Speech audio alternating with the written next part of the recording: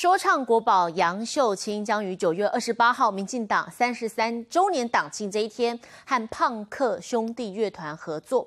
那么登台表演啊，这个彩排的时候，副秘书长林非凡也特地前往探班。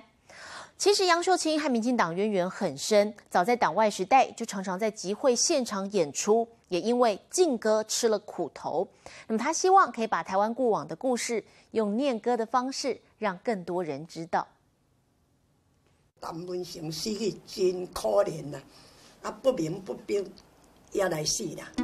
为着安怎死的，无人无人会知记啦。说唱国宝杨秀清手拿乐琴高唱一曲，不论是美丽岛陈文成案，还是近代的太阳花学运，通通列入两卦的歌词。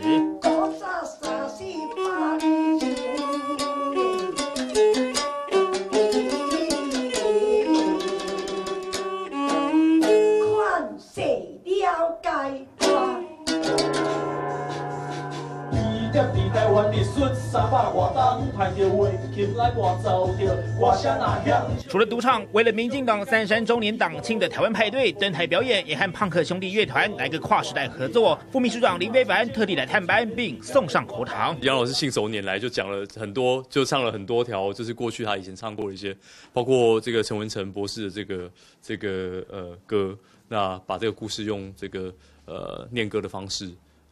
呃，表演出来，那其实我觉得是我们过去没有办法接触到的，那今天有办法亲身经历到，其实是一个很感动的。讲日子真快过了，对啊，我记念阵那个做少年的，即摆已经老伯啊。有人牺牲是金钱，也有人牺牲宝贵的性命。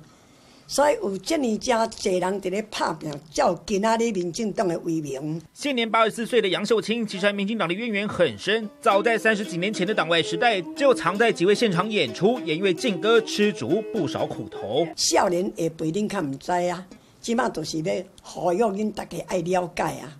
咱这个民主自由，唔是天上来啊，啊，都是咱原来是。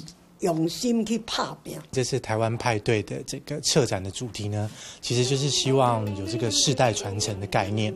那透过新与旧，然后我们很希望能够找回传统的精神，就是感谢这些民主的前辈。走过威权时代的杨秀清感叹民主自由不容易，也希望透过两瓜，把台湾这片土地过往的故事，让更多年轻世代知道。民事政安沈培志台北报道。